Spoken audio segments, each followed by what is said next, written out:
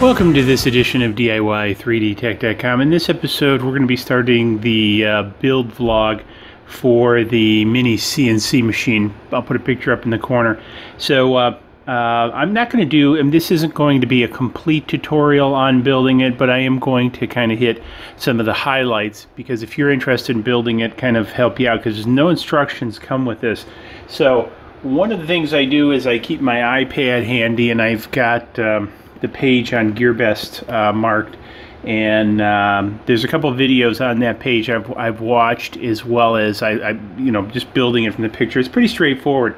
And having built several uh, similar you know machines in the past and also some from scratch I'm kind of familiar how it how it should go together. I think the most difficult piece is going to be the z-axis so what I want to jump into uh, first is, um, as you can see here, we've built the frame.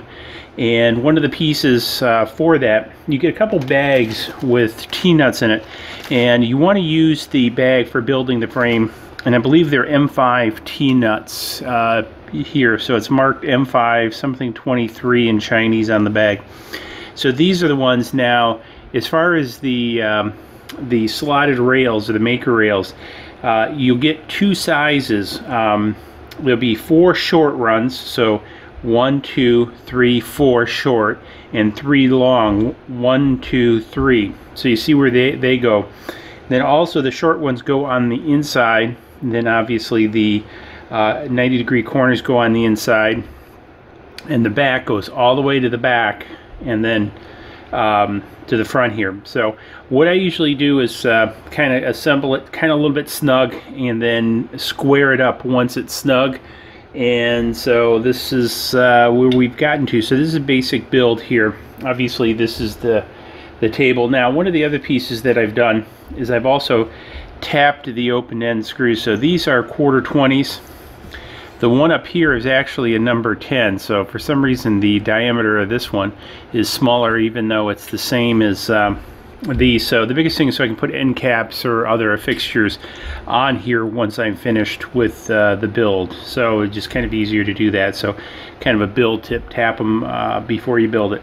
So uh, anyways, this, this completes the frame. So kind of, you know, this will be chapter one, and then chapter two is when we start uh, doing the uh, bed assembly. So we'll see in chapter two. Well, here we are, chapter two. So uh, got a lot of the the uh, components, the X and Y placed on there with some of the motors mounted. Uh, we started the Z assembly. So far, knock on wood, it hasn't been too bad. We got the rods. We're just getting ready to actually mount that in here. One of the things to note um, with these pseudo bearings or slides they always go to the outside. And It's one one of the things I figured out from the Russian interpretation of the video um, so same for here and here as well as here here and here here. Uh, and also on the uh, bed we've also assembled the uh, bed. So same thing goes for there. So a little bit of a tip. Um, they are rather tight and I think that's one of the things that provides some of the anti-backlash is how tight they are. It is smooth moving, but they are tight. So I'm going to go ahead and uh, move on with the assembly process and we'll catch up with you guys in a bit. Okay, here we are for chapter 3. So a couple things I want to cover out. We, we've got everything basically assembled save for wiring the electronics and I'm going to save that uh, for tomorrow in a different uh, build vlog. So uh, chapter 3 is going to close this one out, but there's a couple pieces that I want to uh, share with you that I ran into and how I solved them. So number one, the motor or the spindle uh, going in here.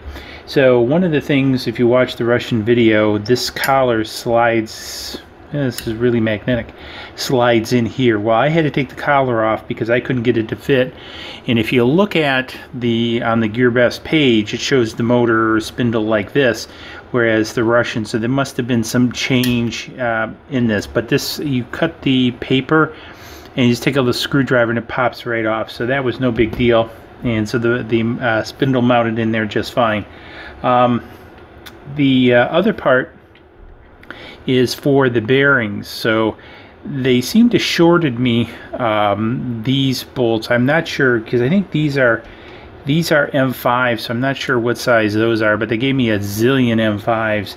And they shorted me four of these bolts for the two other access. So I used the M5s and, and squared them up. Um, I'm not, not the most happy with that, but it does work. So I'm not going to worry about it, and I, I, may, may switch that out in the future.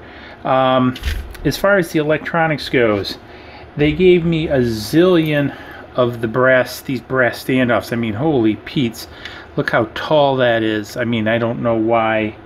Um, but they didn't give me enough to even make this uniform over here. So what I did is I just used my own nylon standoffs. Um, and it was just easier. The other thing I had to do is none of this made sense as far as the hole alignments. Um, for mounting to this. It, it, it, seemed in the video was almost ad hoc mounted. So what I did is I drilled out, made these larger for the M5s and put in the T-nuts and um, this should also help it stay a little bit square too. I'm probably going to laser cut another bracket in the future because this one's just so wanky because the other one which is also interesting goes in here, but the if you look at the holes where it aligns, the, the holes don't even match up. I'm, I'm not even sure what the logic is. So these two pieces are kind of crazy. Now, the other interesting piece is it comes with these two holes, and it shows it on the Russian video, but now I'm trying to see. There's uh, also in the bag, though, it comes with these. Uh, am I getting in frame there? So these these are the um, um, you know, to with with the um, uh, lugs on them. So, you know, with the blocks, and so I, am not sure why I got these and these. The one thing I can tell you is that I, I don't know if you can see over here, and then still over here, I've got a ton of extra parts. It's actually almost humorous um, the number of extra parts I actually have. So I've even got a whole nother set. Uh, I've got all these, which I have no clue what they even go to.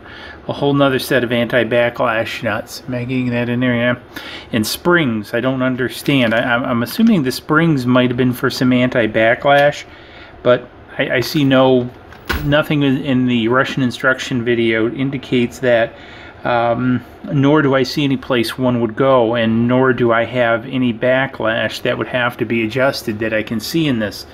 So um, I don't know, I get a whole lot of extra parts. So that's kind of interesting, but uh, it did go together pretty easy so far to, to this point. Um, I'm trying to think here, it's a little bit after 9 o'clock at night. Uh, I think I started it around 3, so it's it's taken me about 6 hours to get to this point. Yeah, about about 6 hours. I did, I did take eat dinner and everything in between. So probably about five man hours to assemble this. Now the other pieces be aware of is these have no connectors on them. I you know made the assumption when I purchased it like most other kits they they would have connectors on it. And I just plug all this into the the CNC shield. It's just a typical CNC shield, nothing fancy here. Um, I'm a little bit disappointed there aren't heat sinks on here, but I think for the cost I'm not surprised. So I'll probably get heat sinks and put them on the uh, ramp drivers. Um, however, not major because I ran my um, laser without them and it's it's fine. So long as you don't put too much workload, you can run them without. Um, but uh, so yeah, you will have to do that now. It comes with some kind of the funky, almost like DuPont clips.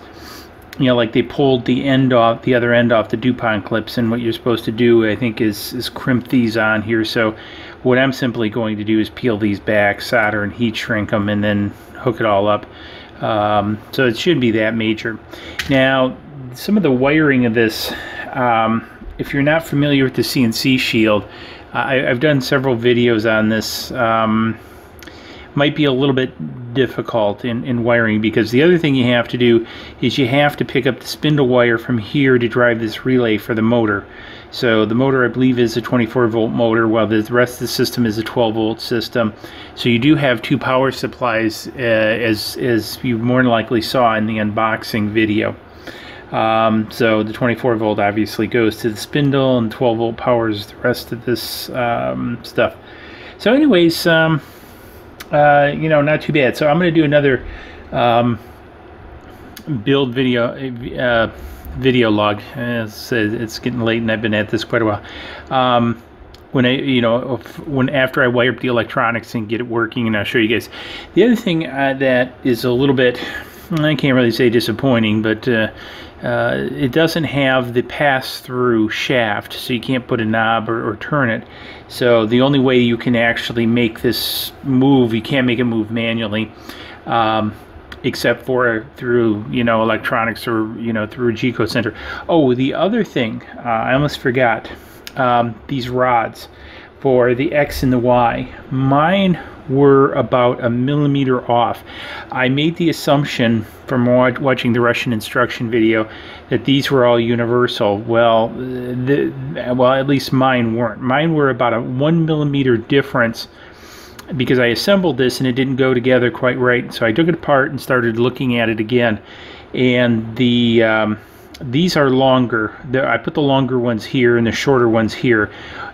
But what I also had to do to keep this from from from bowing in and to keep it square is I had to put a washer on on one side because um, the rods weren't long enough. And so what was happening is it was pulling it in, and I couldn't move the. Well, it took a lot of force to move the the um, z-axis where you know I can turn it with my fingers now. It took huge amount of force to turn it. So I put the washers in here and here. That fixed that. I also did the same although down here because I used the shorter ones uh, on on yeah this is the Y sorry the Y the Y and this is the X so for the Y, what I did is I had to put two washers, one on this end and one at the far end. So this one got two washers, this guy got one washer to keep it from, because these wanted to bow in, these wanted to bow in, but the uh, washer, I just used like a number five washer, worked fine.